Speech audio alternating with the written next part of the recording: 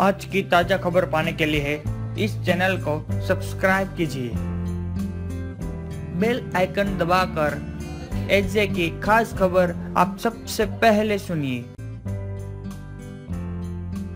उनतालीस साल की हो चुकी विद्या बालन ने कुछ महीने पहले अपनी लाइफ से जुड़ा एक चौंकाने वाला किस्सा शेयर किया था।